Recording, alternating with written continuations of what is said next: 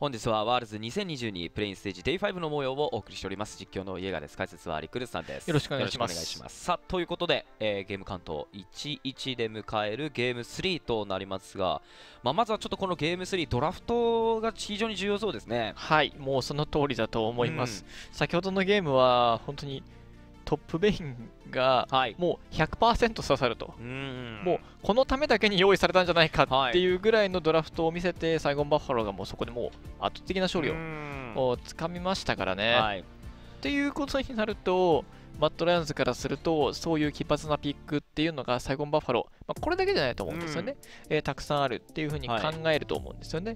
ですから、えーとまあ、今回、えー確かレッド選択あレッド選択ですかになったとうんいうことで、やっぱり相手の出方を伺うような、あそういうサイド選択になったようですね。まあレッドサイドであればねあのー相手の構成が出揃ってから最後のピックを決めることができるので、まあやはりそういったところをちょっと重視しなくてはいけないっていうことですよね。まあそうですうね。んちょっとそれだけインパクトのあるドラフトをゲーム2で見せましたサイゴンバッファローさあそれではその重要となっています。ゲーム3のドラフトを見ていきましょう。サイドの選択権マッドライオンズが所有しておりレッドサイド選択でスタートしています。さあサイドが変わってますがサイゴンバッファローはサイラス。そしてドレイブンというバンゲーム2と変わらずうん、バンしてきています。マッドライオンズもアフェリオスケイトリン。変わらないですね。はい。あと、エイトロックスどうするか。もしくはセラフィーンになるのか。さあサイゴンバッファローちょっと時間を使ってこのサードバン考えてますまあ、セラフィーンバンにして相手にエイトロックスバンさせるはありそうですけど。おーっとだエイトロックスバン自分たちでバンしましたねう。んさあマッドライオンズ今回はファーストピックが相手に移っているわけですがうん、どうするかですね。まあ、一応ここまでカリスタがずっとオープンではあるんですけど、まあ、パンテオンもまだバンしていないんですが、魔王界の番にしますか。まあ、厄介なのは変わりないでしょうからね。でこうなった時に、ブレイブスやヘカリムをどうするのかと、パンテオンが、うんあーようやく相手ので使うのかどうか。さあかなり警戒されているパンテオンですからね。ただまあここはヘカリムからいきます、まあ今回ちょっとマオカイもマッドライオンズ側が消してるので。おおっと。マッドライオンズアームットはそれでも続ける。そしてベルベス。オーベルベス行きましたうね。ん。まあ、先日はこのベルベス、まあ、非常にその序盤中盤スノーボール、まあ、有利というところまで行ったんですけれども、ね。はい、キャリーしかけましたね。うんただあと一歩というところうん。及ばず勝利をつかむことはできませんでしたが、そしてヘカリムとカイサのコンビネーション。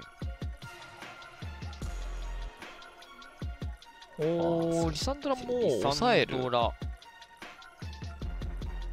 いやただまあ今回はマッドライオンズ一度見てますからセカンドバンフェイズでオラフに対してのベインというところは警戒して消すことはできますうん、お？お？ライズライズピック。ベックスですかね。はい OX6 インですね。まあ、お互いにミッドレーンはファームして集団戦やろうよみたいなうん構図になりましたね。で隙を見て、ジャングラー同士の戦いに介入していくというような、あーそういったマッチアップになったでしょうか。うーん、ベインをバンするのかどうするのかですけど、よねまず、はい。まあ、サポート2体バンでもいいですけど、カミルの方あー、なるほど。カミールから。まあ、リサンドラをピックしていますし、うんトップレーンでファイターをピックしてもいい。で、強気に飛び込んでくれるカイサとラインが合わせられるチャンピオンは警戒したということですね。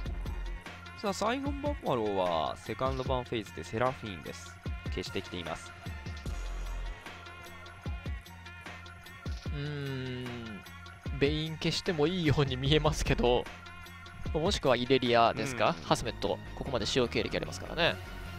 ああただ、カイサのオチラス、ですかまあ確かに滝のノーチラスゲーム2はかなり服当てて攻めの起点作ってましたもんね。ちょっとバランス取りましたね。おおそしてルシアンいきますか？おおなんかいろいろ悩んでますけど、まあトリスターナとかもまだありますし、うんまだいろいろ選択肢は豊富だと思いますね。ジン。ああしかしミスフォーチュンも空いてますが。おおいろいろ悩んでバルおスだおバルス。バルス来ましたねついに来ましたうね、ん。まあ注目はされていたピックです。まあやれることが多いですよね。ブリンクできないことを除いて。どうですかね？ちょっと今回のビルド。さすがにこの構成だと普通に AD ビルドいきますか？うんまあ通常攻撃主体のおーエース系のビルドになると思いますね。うん。そしておおカイサシェン。シェンサポートですかね、に見えますが、まあ、ラストピックこれで確定しますかまあ、ヘカリムとの相性もかなりいいので、悪くないと思いますね。あーそしてトップリリアナーに対するカウンターですね。いや本当にいろいろなピックが飛び出しますねハスメットあとはこのシェンに対して何を当てるのか。まあ、明治系のチャンピオン、カルマとか当ててハラスしてもいいですけど、構成を占めるならバルスタムケンチということになりますか？うん。さあタムケンチで決めてきました、そのバルスのブリンクがないっていう部分をタムケンチで補うということですね。さあ今回サイドが変わってのゲーム3ドラフトでし、えードラフトが終わりましたけれどもいかがですか？まあ、最後バッファローが飛び込んで構成、えーで集団戦勝っていこうというのに対して、マット・レオンズがあーしっかり引きながら、回答しながらの引き打ち構成を選んだということにはなったわけなんですけれども、うーん、まあ、やっぱりレッドサイドを取ったこともあって、はい突飛なピックが最後バッファロとしては出しづらかったですね。まあ、珍しいピック自体は、まあ、シェンサポートだったり、まあ、リリアトップだったりあるわけですけれども、まあ、なんていうか、ベインほトどップほどこうインパクトというかね、そうなんですよね、そう尖ったピックにはならなかったですね。まあ、比較的こう分かりやすいの、何をするか分かりやすいようなチャンピオンは、チャンピオン自体のピックは多くなっています。うんさあ、そしてマット・ライオンズは、まあ、今回、レッドサイド選択でバルス AD キャリーで持ち込んできました。まあ、どれだけバルスがやっぱり殴れるかですよね。相手がカイサ、ヘカリム、リサンドラ、リリアと、もうそこにシェンのシールド付きで飛び込んでくるわけですから、まあ、相当殴りづらいとは思うんですけれども、エース系のビルドに行くのであれば、このねタムケンチの力を借りながらポジションをうまく取っていく必要があるので、うん結構マットレーンズチーム全体でちょっと集団戦の構図、想像するのが難しそうではありますねう。んまあ、リープスキルを持たないというのがバルスの、まあ、弱点でもありますから、うん。まあ、そこがちょっとこう影響してくるんじゃないかってことですよね。なんかタムケンチごともう倒されてしまいそうですよね。うん。さあ始まりました。ワールズ2022プレイインステージデイ5マッチ1ゲーム3マッドライオンズ VS サイゴンバッファロー。スタートです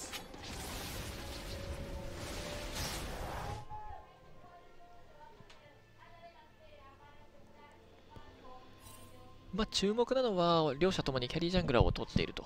ヘカリム対エイベルベスのところでどちらの方が育っていくのか、まあ、カイサが飛び込む起点となる上でもちょっとヘカリムの育ち具合というのは重要うんですしバルスが殴りづらい上でもベルベスがどれだけダメージを出せるのかっていうのは重要ですからお互いにジャングルの育ち具合がかなり鍵を握りそうですね。おマッドライオンズレイトインベードですか？ラプターだけスティールするっていう選択肢もありますが。さあ3人で入っていきます。ワードを発見。破壊してどうでしょう。ラプタースタートですね。相手のラプタースティールを行う選択です、うん。マッドライオンズ。そして相手のカウンターがないのでそのまま赤バフまで取れるという判断ですね。縦割りの形になりますか。うん。まあここから自陣のレッドバフいってもいいですけどねまあ、選択権選択肢はマッドライオンズ側にあると。はい。でミッドのおところリサンドラにプレッシャーかけつつレッドバフ行く。おおエルヨヤのルート選択がミッドガンクになります。さあこれはフロッギー対応、うん。さあそして自陣のレッドバフに向かうと。これでいいんですよね。こうなった時に、はい。もっと。ボットレーンではレベル1ながらかなり激しくやり合ってますよ。そしてスタック溜まってスタンまでイグナイトまで使っていきます。滝フラッシュダウン。うん今滝がボディブロックしようとし前に出たんですけどタムケンチのスタック溜まってましたからね。普通にスタンになりますよね。あそしてハスメットがワード置いてちょっとアヨヤがレッドバフを狩らずにボットレーンに向かっていること想像できますがしかしそれでもビンジェガンクに行くカイザーのフラッシュダウン成功。しかしアヨヤが来ているぞ。スローは入ってる。W 入ればですけど。ボイドサージ距離を詰めて天と地。フラッシュアウトを選択しているのは将軍。ただノックアップが入ったビンジェが狙われてさらにはそれをカバーするために前に出た滝がダウン。ただカイザーも体力少ない状態。1ストレートに持ち込んだサイゴンバッファロー。トップレーンではハスメットがハスメットがあおー叩く入らなかった。いやボットレーンはまだやっている。えマットライオンズが2キル獲得追加で成功。3キル獲得になりましたね勝ちましたね。ちょっとボットの様子っていうのが伺えなかったので分からなかったですが。トップレーンオートアタックキャンセルしたのもったいなかったですね。トップレーンフラッシュダウンお互いにし合った 1v1 でしたがキルは発生せずボットレーンがその間にとんでもないことになってますね、うん、バルス E 外れなんで結構きついかなと思いましたけどね。ここは引き込んでからの反転フラッシュ取れればいいかなっていうところだったんですけどカイザーがうまく W を当てたことによってキルまで持ち込んだ。ここですよね。でこれでこの後バルスの E が外れてこれでダメージ足りないのできついかなと思ったんですけどアイオタの W 入ったか。ああ入ってますね、ー入ってましたね。ギリギリ前ステップがん？間に合わなかった。おっとジあーャングルフラッシュないフラッシュないあーいよ親が止まらん。滝ダウン。うん。202のベルベスが。ちょっと爆誕してますね。はい。いやこうなるとベルベススノーボール止まらないですよ本当にどうしますかね。このままだと、まあ、ボットレーンでちょっと3キロ発生したこともあってヘラルドのコントロールまでスムーズにつながりそうですよねいやいけマットライオンズますよね。これカイサシェンでバルスタムケンチ相手に。あ。あー今度はトップレーンガンクだ。お互いフラッシュないぞ。足は速いですけど。さあ天と地のノックアップ入れてイージーキルガンク成功マットライオンズちょっとサイゴンバッファロー。ハスメットも頭をかいてどうしたものかと。いやもうこれジャングルが与える影響力がもう天と地の差ですね本当うに。んスキル通りはい、はい。これで結局ボットの主導権も、まあ、今の段階ではあの開催地点取ってますけどこの後、うん。時期にバルスが取り返していくと思うのでそうなった時にベルベスの元に寄っていってヘラルドのコントロールドレイクのコントロールになっていくといやこれベルベススノーボール止まる未来が見えないんですけど大丈夫そうですかね。まあリサンドラの CC でなんとかぐらいですかね。うん。現状でもう600700ゴールド差。これまだしかもジャングル残ってますからないやそうなんですよね。かなりガンクヘビーに動いてたこともあって、まあ、ファームは加速していきます逆にビンジェの方は、まあ綺麗にジャングル回ってますからジャングルクリープの残りはほとんどないという中で。いやボットレーンも非常に順調ですマッドライオンズ。うーん。サイゴンバッファローからするとまあレベル6ですか？っと川潜りから仕掛けたがこれはタキにはノックアップ入りません集団戦レベル6はい。非常に強いアルティメットたくさん持ってますからサイゴンバッファローはレベル6待ちですね。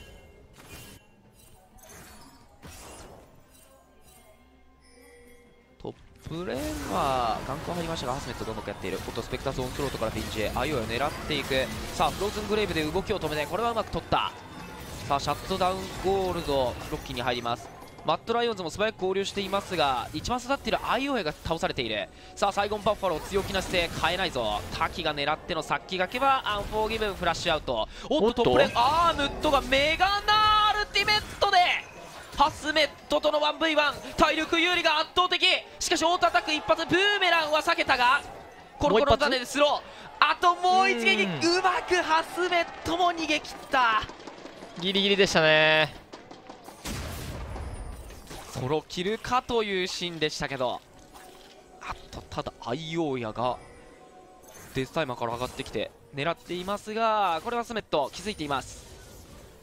まあただ狙い通り最後バッファローとしてはレベル6タイミングでまず1キル回収しましたね。あまりにも速い速度でしたけど。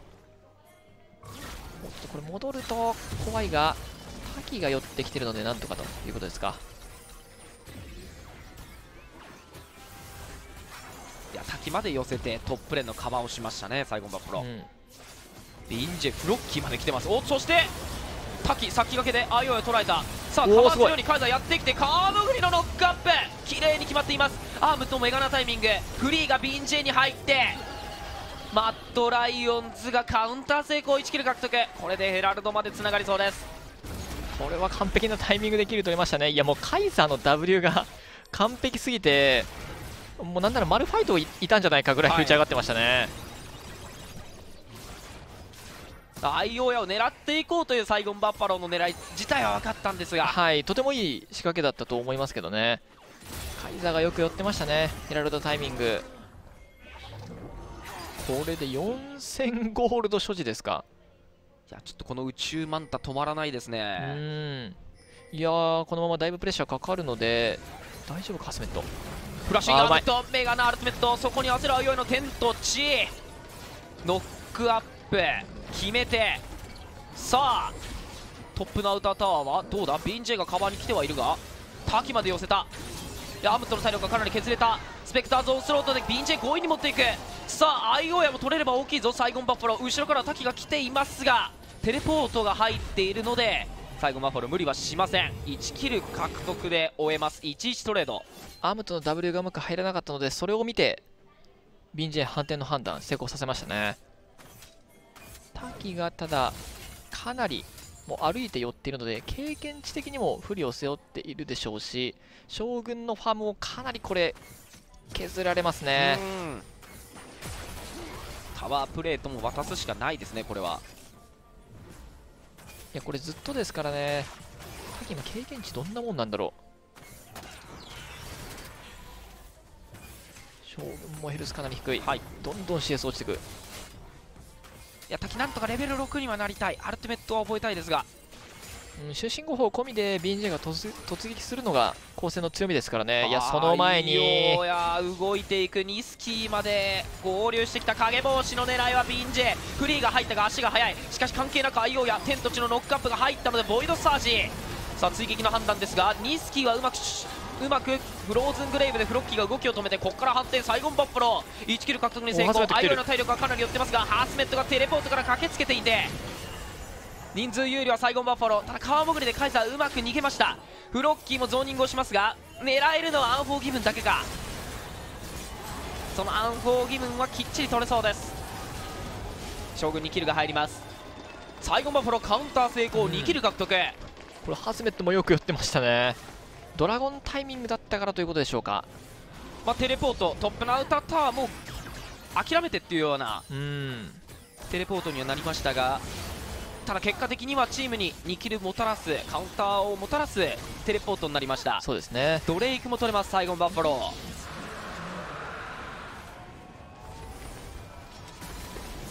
いや本当にちょっとこの試合はスノーボールまずアイオへのスノーボールから始まって集団戦集団戦というところが多く起こ起こりますね。いや、サイゴンバッファローもうまくカバーして、キルゴールド回収してるんですけど、なんか、かえってこれ、タワープレート全部ベルベス吸ったのが、怖い結果を生み出しそうですね。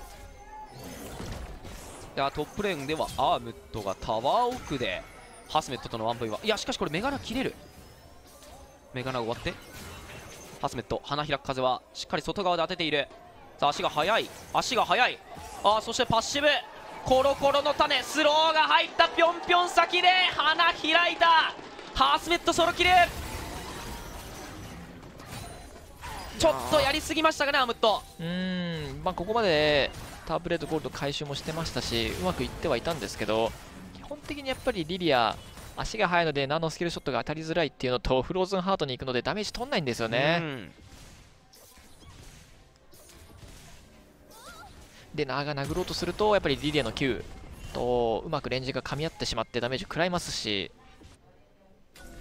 総合的に見てやっぱりナーが戦いづらい相手になってますよね。いやここからは滝がレベル6でもありますから、まあ、いきなり人数有利をサイゴンバッファローサイドとしては作り出すことできますよね。うん基本的にはサイゴンバッファローはもう仕掛け仕掛けの連続でいいと思いますね。とにかく戦っていく姿勢を崩さないこと。まあ不意に仕掛けられるとバルスもちょっとポジションの取り方が難しいですしカイザーも誰をアルティメットで救出しているのかわからないというような状況にさせることができますからね。一方で自分たちから仕掛けられなかった場合っていうのはマット・レオンズがバルスがフリーで殴れる状況でのファイトが起きていたりとかそもそも人数が足りない状況になっていたりとかっていうことになるのでこのゲームはかなり仕掛け合いになりそうですね。うん。まあ、ここまでも本当にその仕掛け合いというところが目立ってますけれどもここからもということですね。そうですね。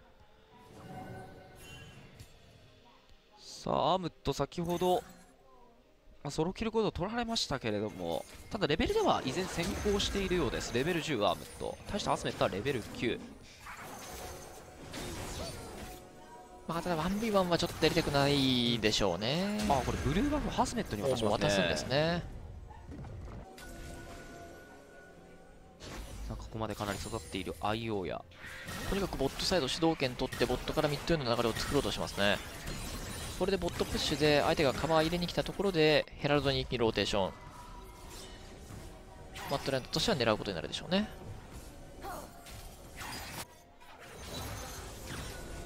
おーサイゴンバッファローはその前にトップちょっと仕掛けられないか見てますけどかなり下がってますね、アームットは。うんアームットはタワー下でファームします。いやこの IO やの影響力は依然強い。おピンジェあーこれはあちょっと見えましたか？見えましたね。見えましたね。見えました見えました。警戒できました。これでアームとは不要な立ち位置取らないでしょう。ブーメランも投げてビンジェを追い返します。でこれでリサンドラが遠いのでマット・ラウンズとしてはリバーに強気に前へ出れますね。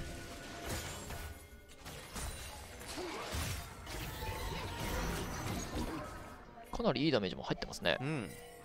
ただビンジェの位置に気づけるかどうか後ろから回ってきますが先に仕掛けていくとマットライオンズ。アイオーヤの仕掛け。そこに焦る汚れの連鎖。影帽子も後ろから2スキー合わせていますがビンジェ登場。一旦下がりますマットライオンズ。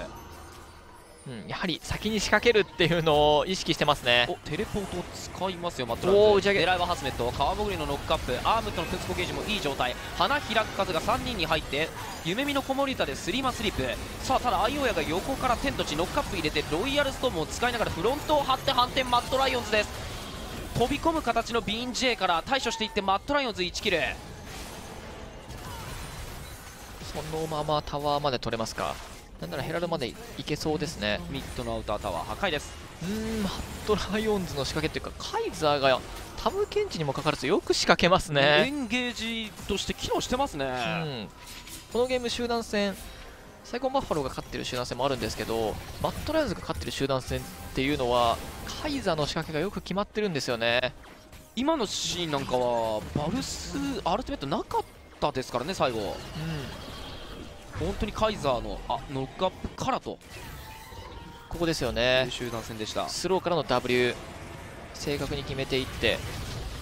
で相手に反転はさせるんですけどやっぱりベストな状態ではないんですよね。カイザーが全く殴れるような状況ではないですさらにはヘカリムも飛び込めないような状況でしたかね。ここでようやく飛び込むんですけどその頃にはもうハスメットフロッキー瀕死ですからね。やはりこのゲーム先に仕掛けた方が勝ちそうですね。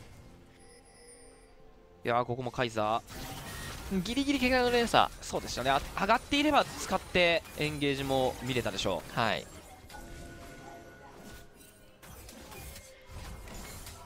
うん、なんならもうベルベスここまで育ってるんでちょっと状況が良ければバルスのフラッシュインから仕掛けていってもおかしくないですね。そうですね。数個は完成します。リンドキングブレード。ターボケミタンク。さあドレイクもアップしてますが相手のジャングルまで入っていってマッタライズが視界のコントロール。ああそしてフリーが入ったところにカーモグリンのノックアップ。アイオーヤがもうすでにとんでもないダメージを出しています。どうやらカーモグリンのノックアップじゃなくアイオーヤの天と地。あっとフロッキーがインナータワー下捕まっている。自身にフローズングレイブ A 賞ギリギリ。ギリギリクラジャルパスで逃げていきますがあっと将軍いい反転だ。キラーボイドから体力の減ったカイザーにイカシャの目叩き込んで1キル返していくサイゴンバッファロー。ただアイオーヤがロイヤルストームの耐久力を生かしながら反転で将軍を持っていく。アームットも降りてきますタワーを隔てて分断されるような形になっているがそれでも関係なく突っ込んでくるマッドライオンズ。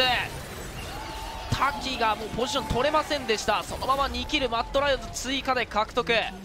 しかもこれ子分たちがめちゃくちゃ出てるので、はい。そのまま。インヒビタータワーまで取れます。ミッドのインヒビタータワー獲得マッドライオンズです。いやー。ベルベスが止まらないですねでもベルベスの E の耐久力アップとサスティン上昇ライフスティールで結構ギリギリのヘルスからでもはい。戦いを継続することができるっていうのが強みですよね。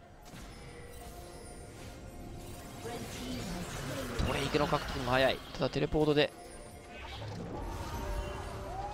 見るかとは思ったんですがここはうん。うん。特やに見ずにめましたね。うん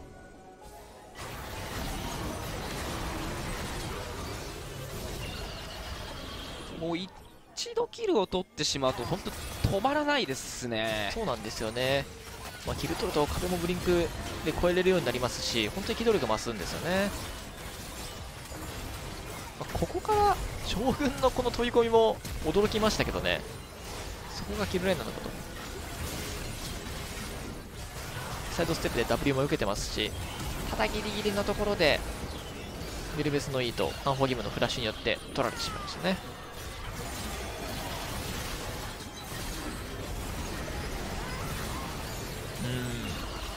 やっぱり4回ブリンクできる。でしかも W を当てるとそのブリンクのクールダウンも解消されるみたいな。うん本当に機動力高いですよね。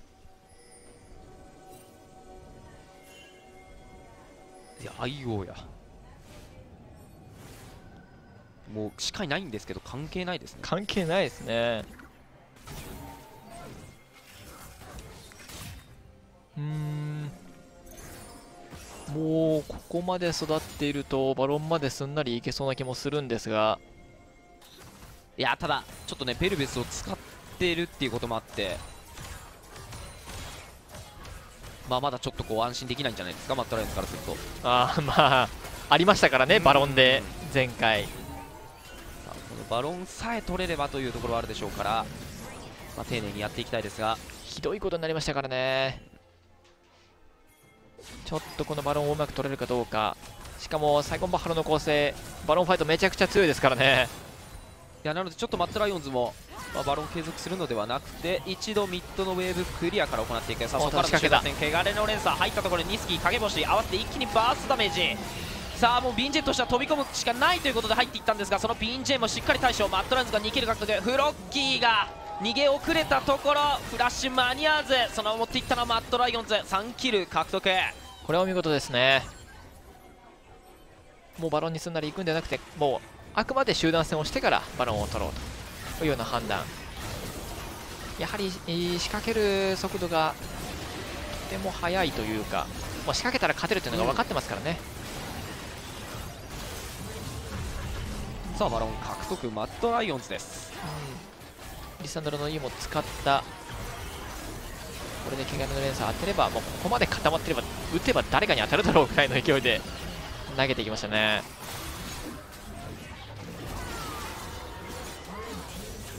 うん。この試合はもうあよや。止まらないですね。3コアできました。まあ、止まることないでしょうね。まあもともと育てば非常に強力だとされているチャンピオンですベルベス。スノーボール性能が非常に高いと言われてますけれども、まあ、まさにそのスノーボールがここまでは綺麗に成功しています。アルティメットもずっと回収してもうスタックも71溜まってますから相当アタックスピードも速くなってるんじゃないですかね。タワー殴るときとか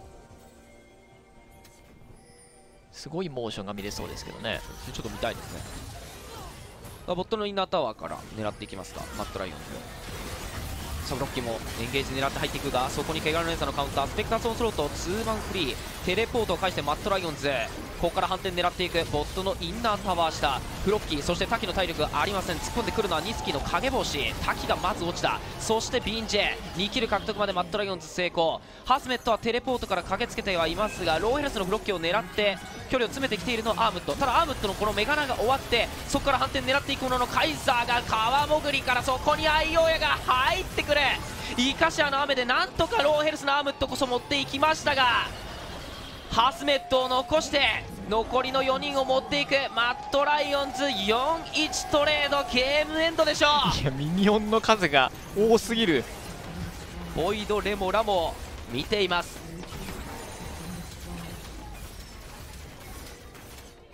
さあただまだゲーム時間が短いので復活はしてきていますがサイゴンバッファロー。しかしネクサスが持ちませんでしたいや今度はマットライオンズやりたいことをやったというゲーム3これで次のステージへ王手をかける。2ゲーム目を獲得となりました。いやこのゲームジャングルとおジャングルがかなり重要になるよねみたいな話をおゲーム開始直後にしたんですけれども、はい、まさかここまで重要になるとは思いませんでしたね。もちろんジャングラーが出すダメージっていうのも重要だなと思っていたんですけれども結局そこでゲームが完結するとはって。結果的にはもう最後何キルですか？7キルぐらいまで見てたんですけど。717とかまで言ってましたよね、最後の集団戦にそれで入ってどうなったかって感じですけど、はい、かなりキル回収してましたからね。まあちょっと止まらなかった。止められなかった。アイオーヤのベルベスとまあここからあまあ、バロン前の嫌なイメージも払拭して、え最終戦、えー、にマットライオンズとしてはもうしていきたいぐらいの勢いではあると思うんですけれども、ただ、サイゴンバッファローもこれ、ベルベスにバンマックス避けるかって言われると、ちょっとぶっちゃけ厳しいな難しいですよね。っていうところがあるので、ちょっとゲーム内のところであの事故がないようにとか、レートイメージを気をつけてとあいろいろ対策を講じていく必要がありそうですね。あとちょっとそのサイド選択権がちょっと重要になってきてますね。そうですね。ここから、うん、もうレッドサイドをまた最後バッファローが取ってあ奇策をマットレンズに講じてで最終戦まで持っていきたいと。5戦目まで行きたいっていうのは思ってるでしょうね、うんまあ、ちょっと、えー、まあね、非常にこうゲームテンポの速い試合っていうのが続いてますが、ゲーム4はどうなるか非常に楽しみです。続きましてゲーム4となりますが、ここで一度インターバルに入らせていただきます。それでは一旦失礼いたします。